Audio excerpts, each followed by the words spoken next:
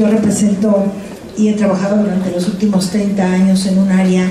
que pocas veces se toca en ella, sin embargo soy una convencida mexicana que la actividad que yo realizo es una parte muy importante dentro de las cosas que se deben de considerar. Y cuando nace la CEA, que es nuestra agencia ahora reguladora de todas las normas hacia el sector de hidrocarburos, me acerco para, para participar voluntariamente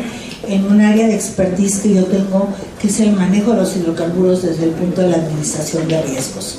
Y la administración de riesgos, en un momento donde nuestro país se abre a poder a dar entrada, como dice el maestro Gaspar Franco, a muchas empresas que sabemos que ya son parte de, pues, de la historia petrolera de México, era muy importante establecer reglas muy claras y lo que lo que se dijo mucho es establecer reglas de piso parejo.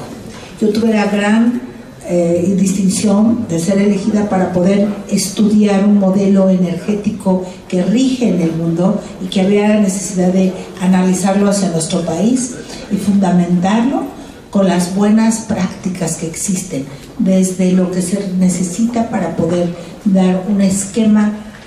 derivado de las disposiciones generales de seguros que hoy están en el diario oficial, de una plataforma que trabaje en aguas ultraprofundas en toda la cadena de valor de los hidrocarburos hasta llegar a la gasolinera de la esquina de nuestra casa. Los mayores catástrofes de la historia han sido con, hidrocarburos, como el Exxon Valdez, un barco en, las aguas de, de Alaska, como fue hace poco, lo que fue el famoso eh,